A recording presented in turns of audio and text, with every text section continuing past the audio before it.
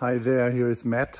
I'm in beautiful Ängsbacka at the Sexibility Festival and I'm about to teach my workshop here tonight, this evening orgasmic blueprint, uh, letting people find the deepest essence of their um, erotic self. And um, I'm, like I normally are before a workshop, really nervous, a little bit anxious in a good way, so that gives some good energy.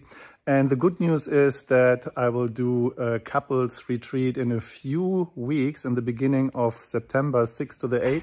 It's an entire weekend in um, Sweden. And you find the link around here, that video. And if you and your partner would like to come to this couples retreat, you're more than welcome to join.